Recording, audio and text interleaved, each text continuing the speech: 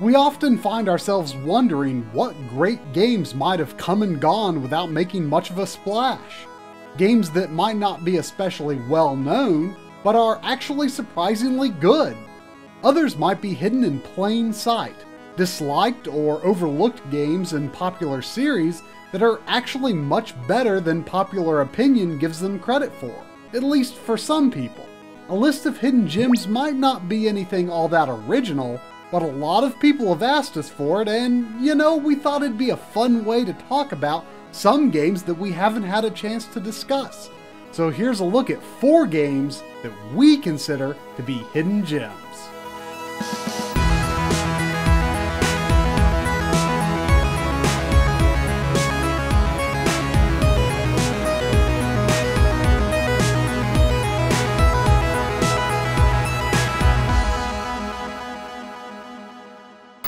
Heading into this list, I had a hard time at first. What justifies a hidden gem? Well, it's a term that I think can be applied in different ways. This time around, I'd say that my choices actually fall under a more traditional meaning of the term. Anyways, let's get started.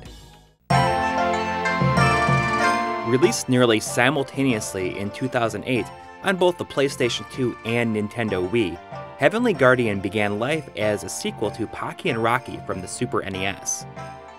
Unfortunately, the developer, Starfish SD, lost the rights to the name, so instead of just scrapping the whole thing, they re envisioned it as more of a spiritual successor. You play as a snow goddess named Sayuki, who is in love with a boy that she seems to be stalking. One day, he isn't at his normal place, and she goes and peeks into the window of his home. Turns out he's been cursed, and it's up to Sayuki to save him. Of course, that's going to entail blowing away tons of demons and stuff.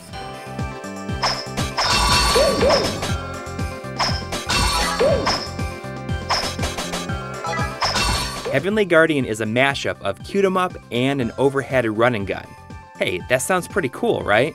You run through seven levels, destroying everything in your path using various types of water based elemental attacks.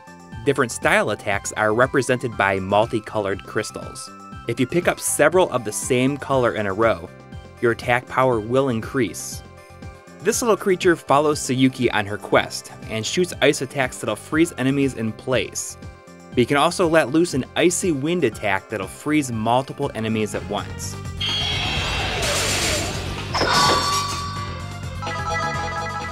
And last but not least, you have a dodge roll for when you find yourself in a situation and you need to make a quick escape. Early on, you can die pretty easily, but as you pick up life extenders, you can just tank through your hits due to the liberal dispersal of health items.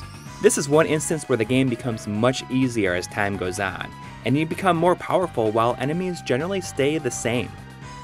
Overall, Heavenly Guardian is an old school style game with some nice sprite work and a pretty catchy soundtrack. And yes, there is a two player simultaneous mode that not only has a completely different story, but also adds a little bit of friendly competition to the mix. If I had to pick one really annoying thing about the game, is that the levels themselves are way too long for their own good, sometimes lasting well over 15 minutes. I paid $8 shipped for the PS2 version on eBay, and the Wii version runs pretty much the same. If you absolutely have to play this game right now, it can also be downloaded as a PS2 classic on PlayStation 3 for 10 bucks.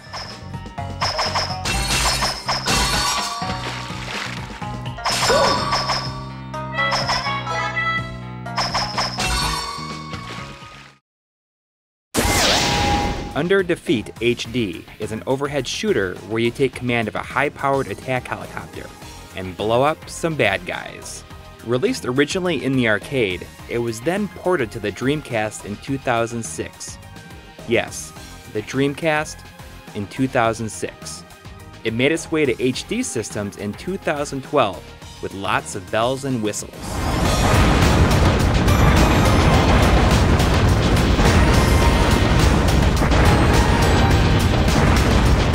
You've got two main modes to play.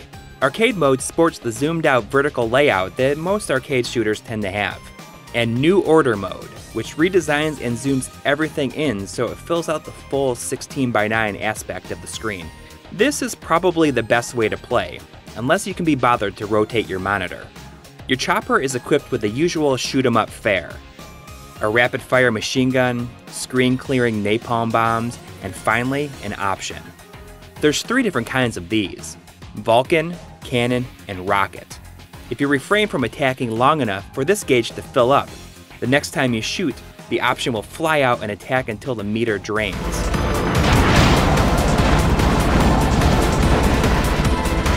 You will need some fancy flying moves while you wait for that option gauge to fill up, because things will get crazy, and with that insanity comes tons of slowdown. Apparently, this version added a bunch of slowdown to make the game more manageable, but it just looks kinda bad at times. I mean, hey, the Dreamcast version barely had any. At least make it a toggle to turn on and off. Since you're in a helicopter, you have a bit more freedom to move around. You'll make use of the entire screen real estate as you weave through bullets. There's various methods of control you can choose from when starting a new game, so you'll hopefully be able to find something that suits you. However, new to the HD version is a dual stick control option, where one stick moves and the other shoots. Once I realized that this was an option, I never looked back. With only 5 levels in total, Under Defeat HD can be beaten fairly quickly, but it's certainly not easy.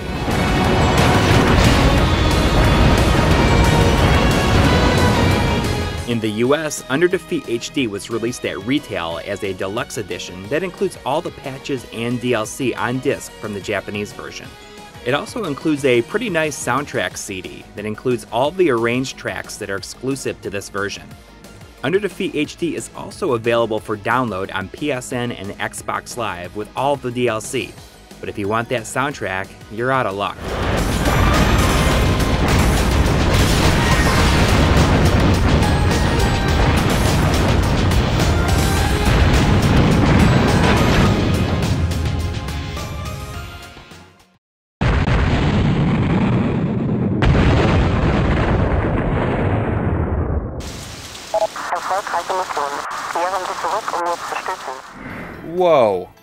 I guess I was in some sort of overhead shooter mood when I made my choices for this episode.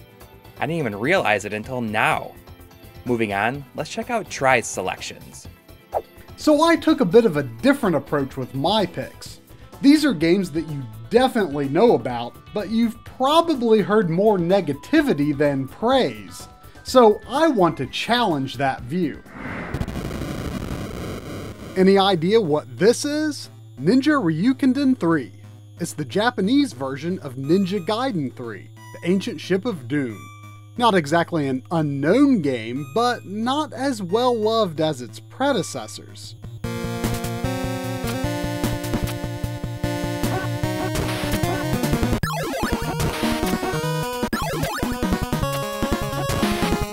Even within a series that's famous for its difficulty, Ninja Gaiden 3 is difficult for all the wrong reasons. Not only are Ryu's defenses paper thin, but the infinite continues that made Ninja Gaiden 1 and 2 beatable are reduced to a handful of limited continues. But I want to suggest that Ninja Gaiden 3, or rather Ninja Ryukenden 3, is actually the best game in the series. See, here's the difference if you play the Famicom version. Enemies deal normal damage, you've got the infinite continues that are a staple of the series, and Tecmo even added a password system so you don't have to leave your console on overnight. And you're gonna need it because it's a tough game. Maybe tougher than the first two NES games, but it's a better kind of tough. One major improvement is that if you kill an enemy, it will never respawn unless you die too. Yeah, after dealing with birds constantly respawning at the edge of the screen in Ninja Gaiden 1, you gotta admit, this is pretty nice. Level design and enemy placement is also a lot more intentional. Sure, it looks brutal at a glance, but once you start to figure out a level, there's a great flow to it that other Ninja Gaidens don't quite match.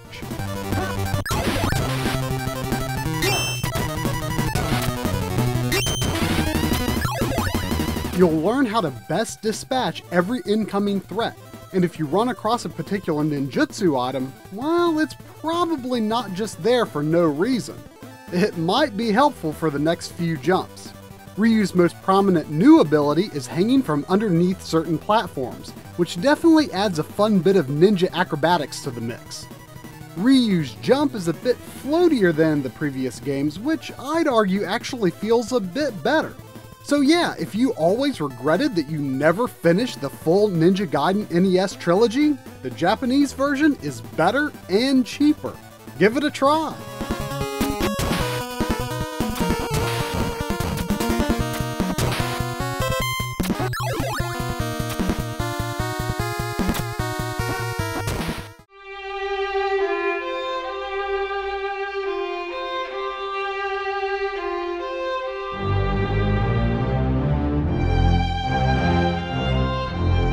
Castlevania just never got 3D right. Or did it? If we look at where Castlevania went through the 2000s, we can look back on the earliest attempt at 3D Castlevania gameplay in a fresh light.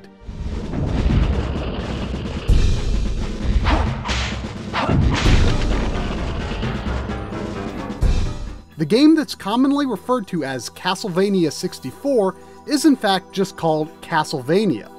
It was released in early 1999 and admittedly feels like a far earlier N64 game. But looking beyond the awkward button mapping, troublesome camera, and slowdown, I think there's a game of some merit here. I mean, look, what other 3D Castlevania game actually put in traditional platforming challenges? And believe it or not, I feel like this aspect of Castlevania 64 actually works really well. But it's clear that the development team struggled to execute their vision, and that's why at the very end of 1999, another Castlevania released on the N64, Legacy of Darkness.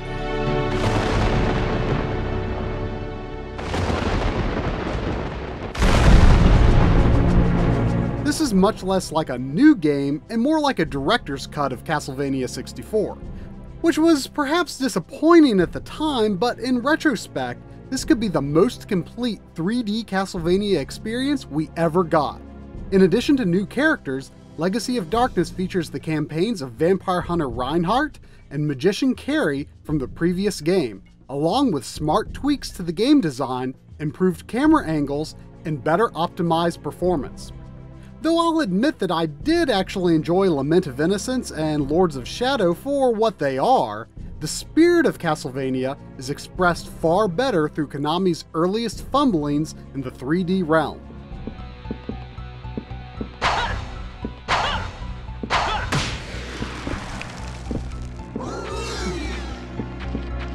The original version is very cheap and common, and I think is worth giving a fair chance.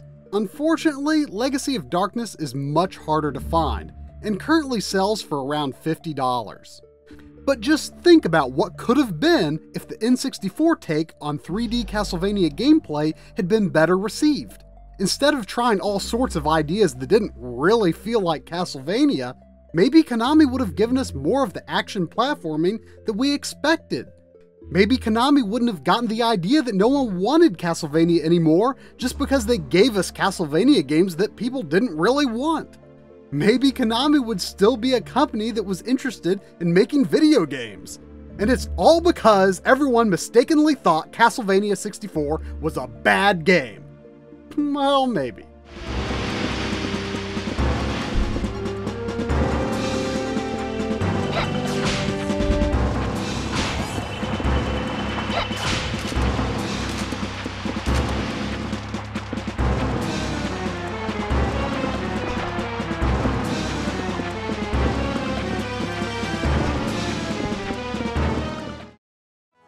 So, what did you think? Some of our choices might seem a bit unorthodox when it comes to the term hidden gem, but I think the general message comes across just fine. Just because a game isn't expensive or popular doesn't mean that it's bad. We've always liked going into games ready to deal with whatever limitations they might have, and whenever you do that, you might be surprised at what you find.